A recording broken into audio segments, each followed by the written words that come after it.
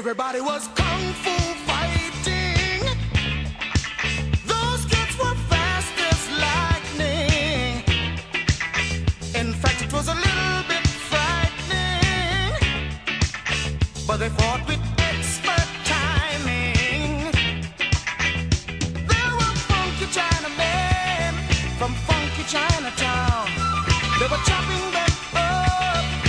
chopping them down.